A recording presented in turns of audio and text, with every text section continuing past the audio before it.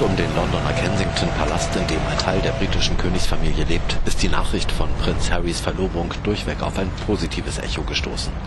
Harry, früher durch manchmal schrille Auftritte als Partyprinz verschrien, gehört spätestens jetzt nicht mehr zu den begehrtesten Junggesellen Großbritanniens. Ich habe gerade gehört, dass sich Prinz Harry mit einer Amerikanerin verlobt hat. Das ist großartig und so cool. Glückwunsch.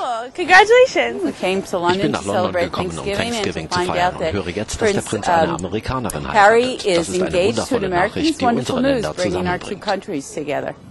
Das ist sehr gut für das Land. Ich finde, er hat eine sehr, sehr gute Wahl getroffen. Sie wird wie Diana sein.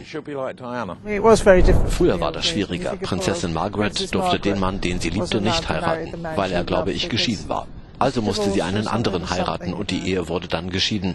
Jetzt dürfen sie heiraten, wen sie wollen. Alles Gute für die beiden.